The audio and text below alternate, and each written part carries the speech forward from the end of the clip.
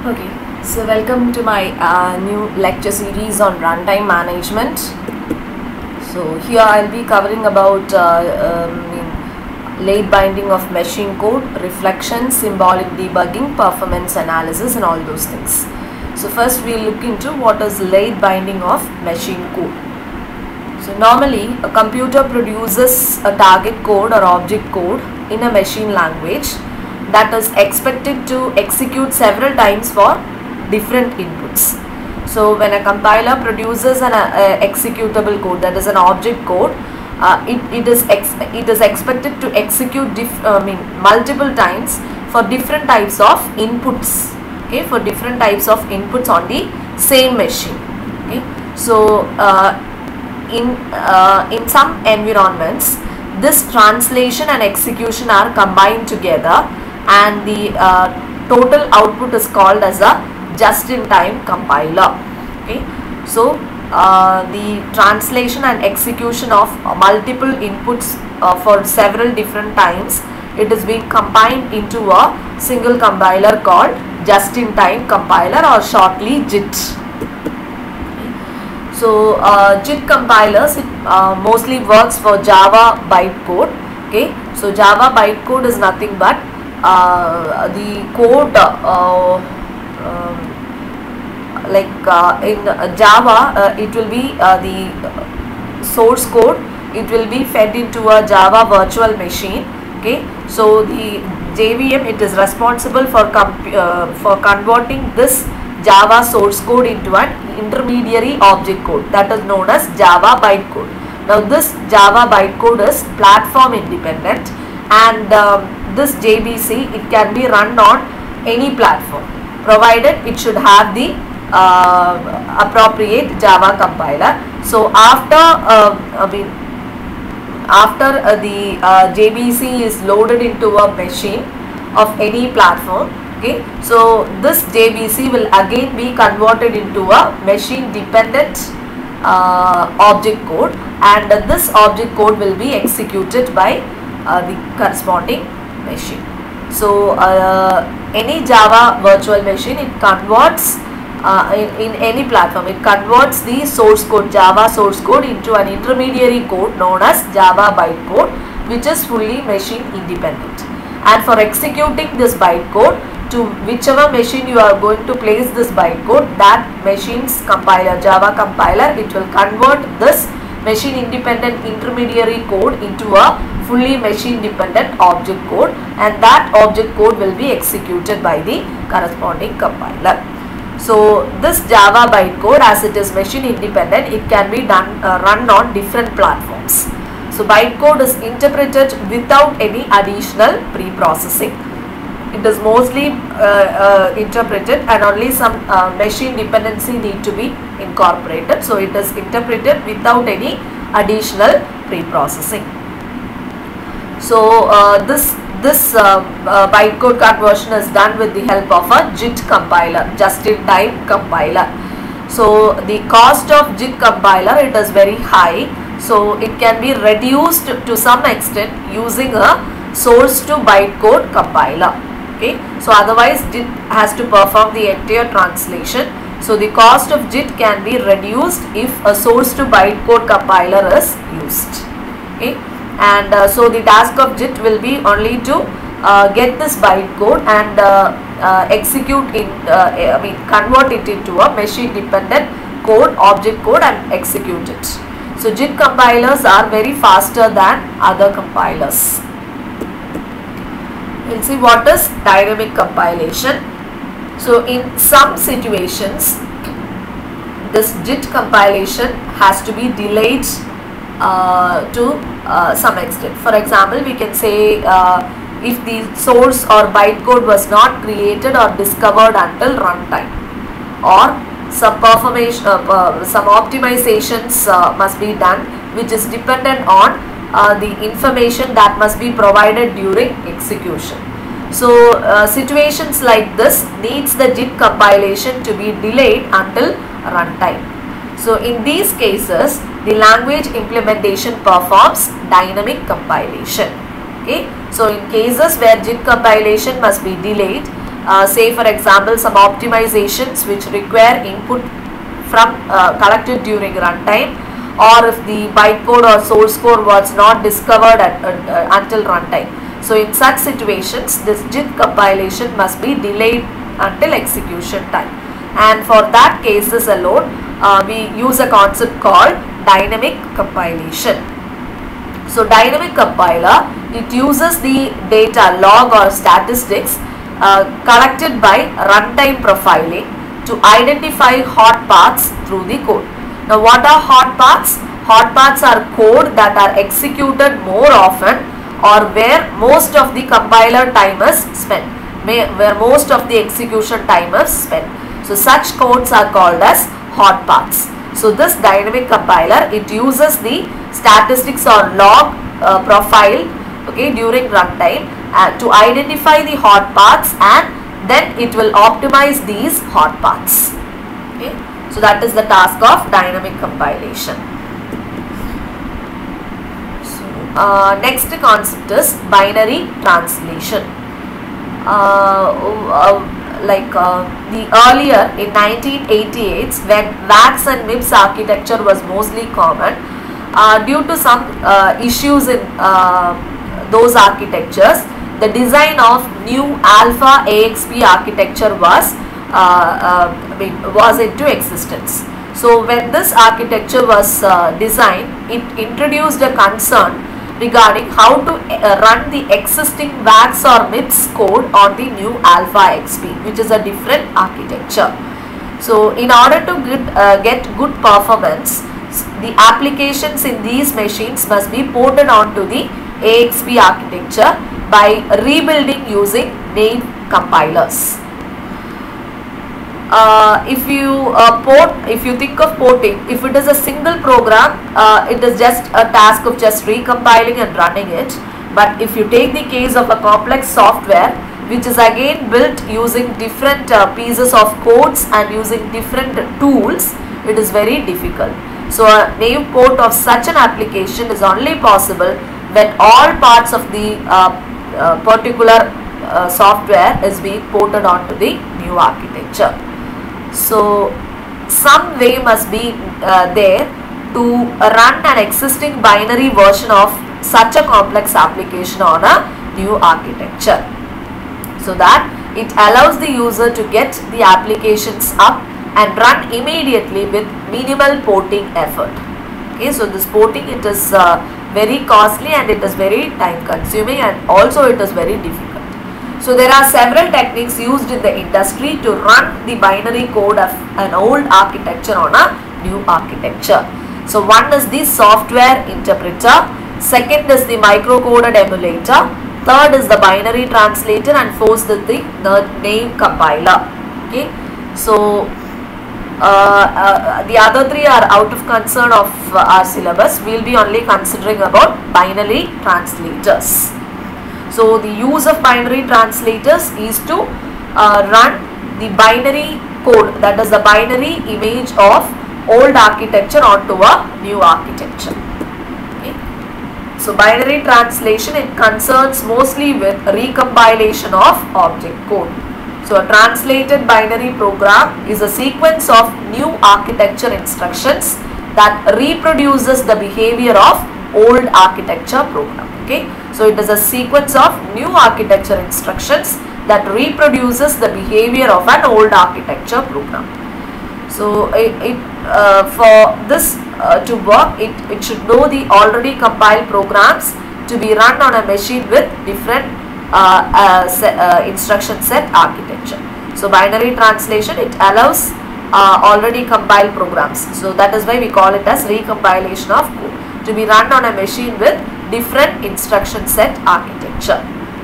Example, Apple's Rosetta system which allowed programs compiler, uh, compiled for old PowerPC based Macintosh Mac computers to run on newer x86 based Macs. Okay, just to run an old architecture code onto a new architecture.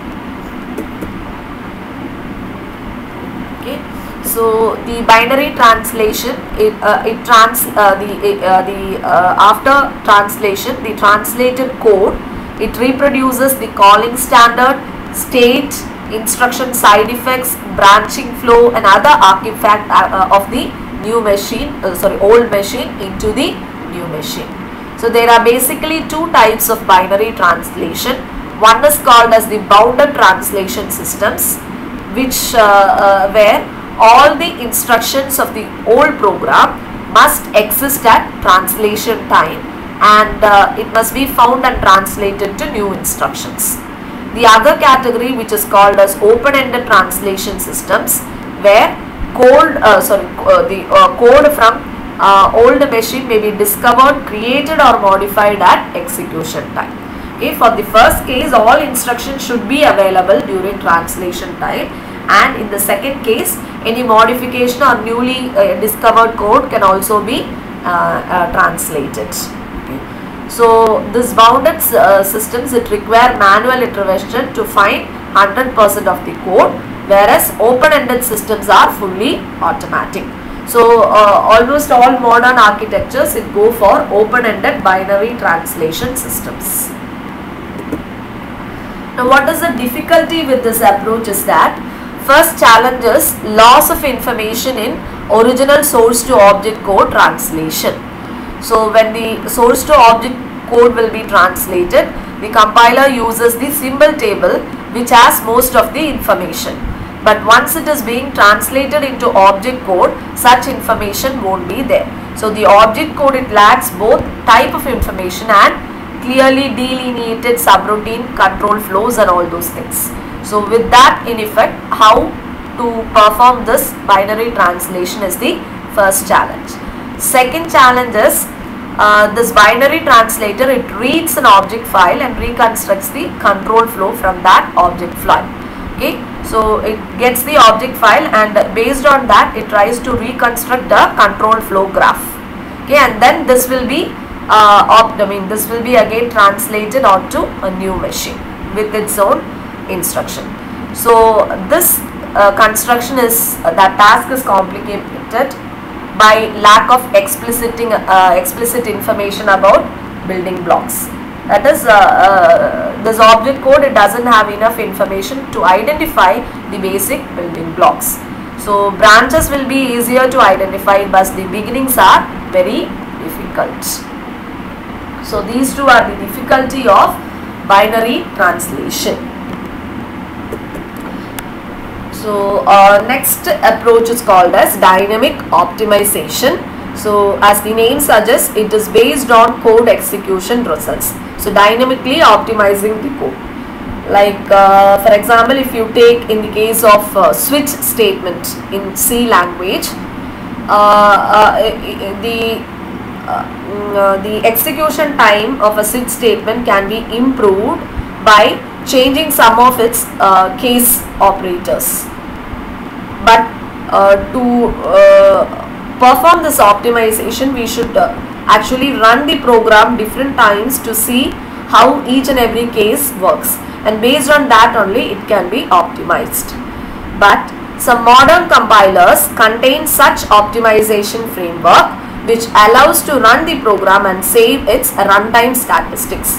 So instead of running it several times and profiling manually, so uh, some modern compilers it contains such optimization frameworks which will get those statistics and based on that statistics the program code can be optimized. So that is known as dynamic optimization. So for dynamic optimization we go for dynamic translator. So just like binary translator this is dynamic translator which performs dynamic optimization. So this dynamic translator it revisits hot paths because hot paths is the portion of code where most of the execution time is spent. So it just revisits that hot paths and then optimizes them. Okay. So this uh, strategy can be applied to programs that do not need translation. Okay. Uh, so this improvements uh, that is the dynamic optimization it improves performance over already optimized code. So this is an example for that. So here you can see I have a procedure print matching which takes S a set and a set of predicates P and for each E in S okay that is for each predicate in S it checks if P of E is for each uh, set in S it will check if uh, predicate is that E okay? And if it is it then prints that E. So this is the normal thing. So this is a subroutine. So it has a prologue and a epilogue okay? Then uh, loop head for each loop. It will test first one. If E is in S if E is in then uh, then uh, it will test for each of the predicates P1 to Pn say n predicates are there. So this for each E in S will be performed for each of the predicates followed by the next test. That is if P of E is available. So after these testings only the print statements print E will be happening. So if this is done the loop will be ending loop foot okay? Uh, then uh, for each and everything it has to be repeated. Now if the test 2 fails it can directly come out of the loop foot and go for the next iteration okay? So once the for each loop ends it the entire subroutine ends so it comes out to the epilogue part. Okay. So here the hot paths that is where most of the execution time will be spent will be in the loops right? So here the loop head uh, these test loop foot and these printing uh, not printing these checking parts for predicates. These are identified as hot blocks okay these are hot blocks and this gray path is called as the hot path where most of the execution is uh, execution time is spent. So dynamic translator it will just optimize this um, hot path and hot blocks into this. Like it will start with loop head, test 1 will be performed. So instead of performing test 1 for each of the predicates and then performing test 2 okay what it will do is it will perform the test 1 for all the predicates followed by test 2 at one sequence. Okay? And then if uh, both the tests are satisfied it goes for printing it. Okay? Instead of uh, uh, performing um, test 1 for everything and then performing test 2 for everything okay? Uh, for each of the predicates it is performing test 1 and then test 2 is performed for each of the predicate. What it will do is it will sequentially take the predicates perform uh, whether for each is uh, I mean uh, it is there in all the predicates. If it is there then go for test 2 and then end the loop. Because print has to be done for all the cases that success with this. Okay? So print has to done for all successful cases in this so uh, after testing 2 going for print and looping again just perform the loop for these two tests alone and if this is successful print the particular thing so this is how optimization is done so similar to binary translation, another approach is called as binary rewriting. So binary in the sense object code, rewriting is mo making modification to object codes. So binary rewriting is the technique to modify existing executable. Code. It can also be used for simulating new architectures by uh, rewriting your executable code, evaluate uh, test suite coverage, you can add new uh, coverage suits, implement model checking for parallel programs. So you just execute it and uh, make modifications to directly to your uh, executable code audit the quality of compilers optimization and insert dynamic semantic checks into a program. So apart from modifying executable code binary rewriting techniques can also be used for these five purposes. Next is mobile code and sandboxing. So portability, portability uh, is the portability is the, the main motivation for late binding of machine code. Late binding of machine code. Okay. Uh, so uh, you can have a look at this.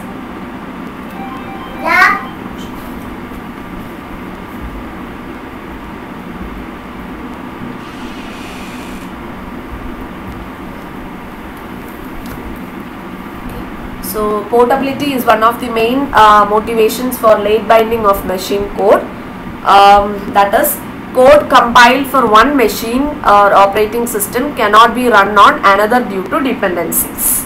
Okay, so code compiled for one uh, machine or operating system cannot generally be run on another due to dependencies. So mobile code is one which can be taken to different platforms. That is for portability sake mobile code can be introduced. But when you are using this mobile code it can introduce risk like malware, spyware and all those things. So for, for a code to be mobile, if you are going to use a mobile code then we must be executing that mobile code in a, um, in uh, some sort of sandbox. So sandbox is uh, a software uh, which actually isolates your uh, current uh, mobile uh, code application from critical system resources that is operating system resources and programs by which it provides a, a, secure layer that prevents malware or harmful applications that can be caused from the mobile code affecting your system. So it actually lies at the boundary between the language implementation and the operating system. Next is reflection. So um, the uh, uh, this uh, reflection was actually introduced in Lisp language wherein it allows a program to reason about its own internal structure and types and the process is called as introspection. Now this introspection was provided in Java and C Sharp using the reflection API. So does uh, uh, this reflection is a technique of uh, by which a program can pursue its own metadata and this is actually used for printing diagnostics about a particular um, program. So we will see how reflection happens in Java 5. So Java 5's root class is object. Now this object class it has a support for get class method which returns an instance of java.lang.class and uh, this get class method as a set of operations which supports reflection. For example, get name to get uh, the name of the class get uh, declared methods to get the all the methods declared inside that class get parameters to get the parameter of a particular method and all those things there are a lot of reflection operations supported by this get class okay so here you can see an example. Int a of int of a equal to new int of 10 now a is an array of integers. Now if I just print system.out.println a dot get class so this supports reflection dot get name. So it will capture the class of this object a and uh, will print the name of that particular class. So here uh, a is an uh, array okay single dimensional array indicated by a single square bracket followed by the name of class here the built-in class is integer so it just types i Another example is this one. So this here you can see string C new string of 10. Again it will print uh, it is a single dimensional array. L stands for user defined types. So strings are user defined types in Java followed by the name of the class which is java.lang.string. Similarly if you use like this okay d dot dot so d is a double dimensional array two square brackets. D is a user defined type l okay followed by foo. Foo is the name of the class. If I give something like this object o equal to new object of now o get class supports object type so its name is java.lang.object instead of using this object o dot get class I can also use the class name directly dot class dot get name. So instead of this this can also be used which will fetch you the same output. Now I have another method called for name class dot for name. So this method accepts a single argument character string name and it will obtain a class object for that particular given type. So if I give like this so java.lang.string for this particular class it will create an object called string class. Similarly, for this particular class, it will create an object like this.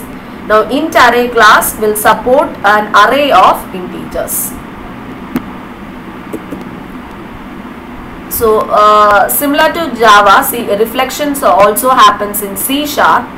And for C sharp, instead of java.lang.class, you will use the type system.type and for uh, system.reflection you will I mean the for java.lang.reflect package you will be using system.reflection uh, delegate.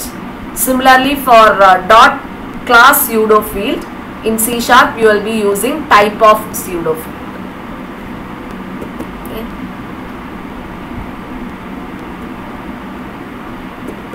Mm, uh, we have one example. I'll just uh, show you that example.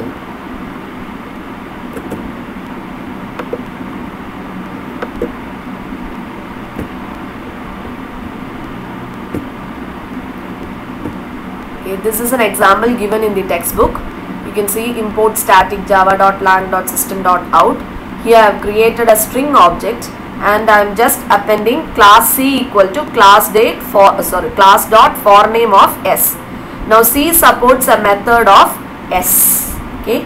Now here for each method m and c dot get declared methods. So it will just uh, find the declared methods in the string object s string uh, string class. And for each method m it will just print the modifiers. Get modifiers will get the uh, for each method it will get the modifiers and convert it into modifier type okay?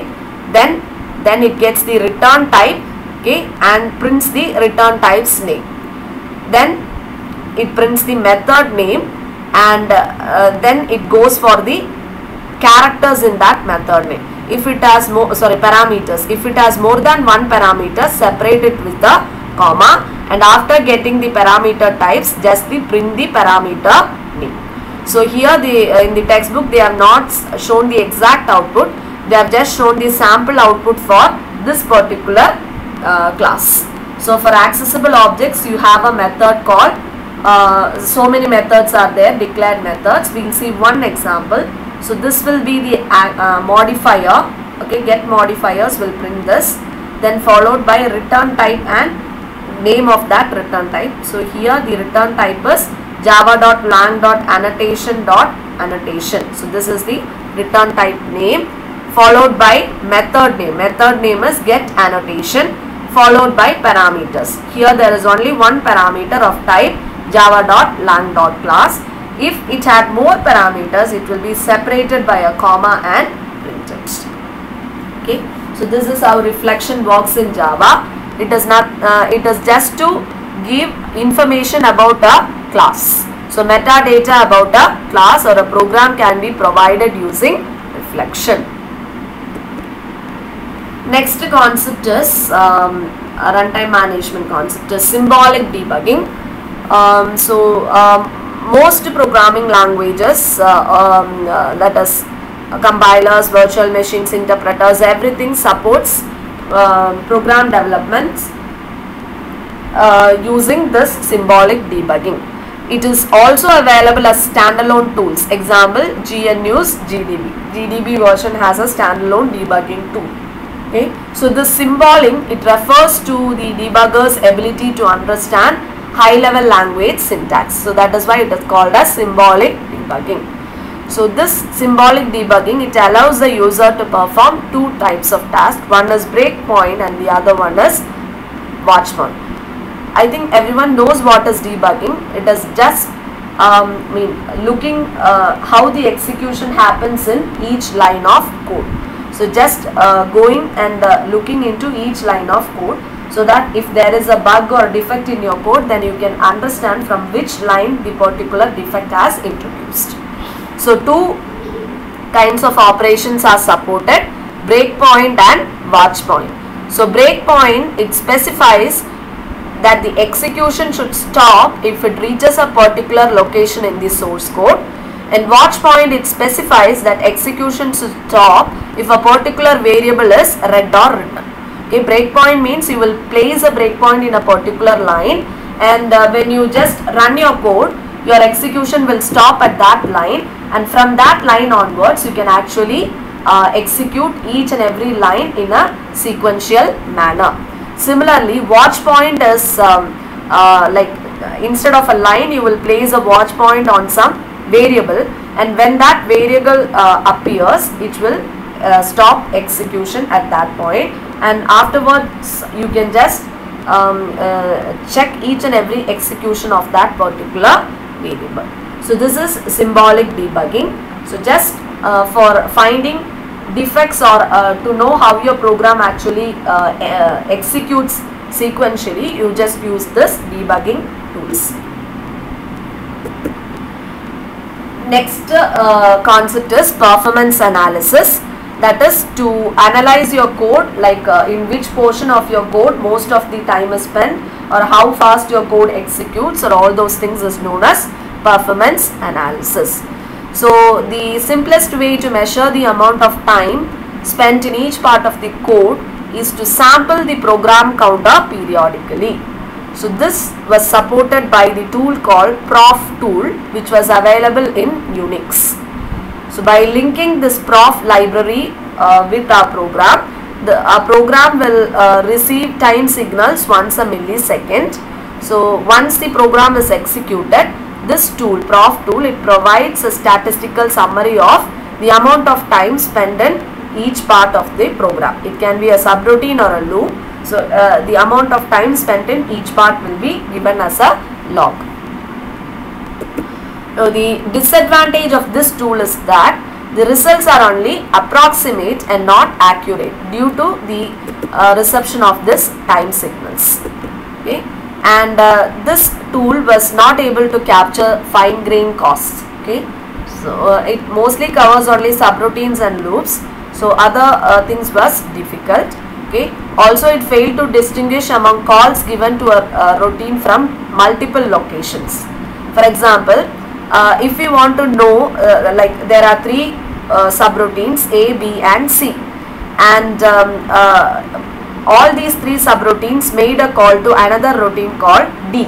Okay. Now I want to know if A or B or C which is the largest contributor to program runtime uh, for calling this D. Okay. If D has been called by all the three then this prof tool using this prof tool it is not able to identify whether A's D, B's D or C's D was expensive. So these are the limitations with prof tool of Unix system.